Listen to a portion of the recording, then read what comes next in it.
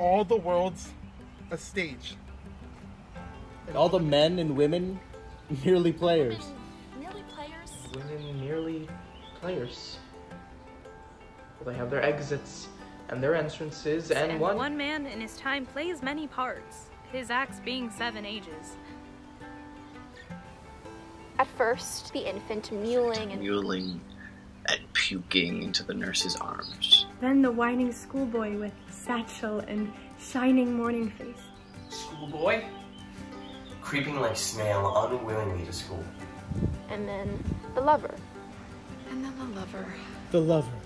Sighing like furnace, with a woeful ballad Made to his mistress's eyebrows. A soldier, full of strange oaths, bearded like the hard, jealous in honor, Sudden sudden and quick and choral, seeking the bubble reputation even in the cannon's mouth.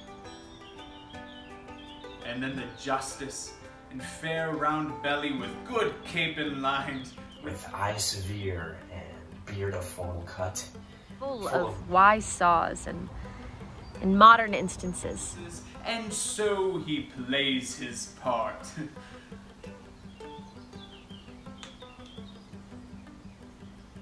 The sixth age shifts into the lean and slippery pantaloon. Pantaloon. With spectacles. On nose. Pouch on side.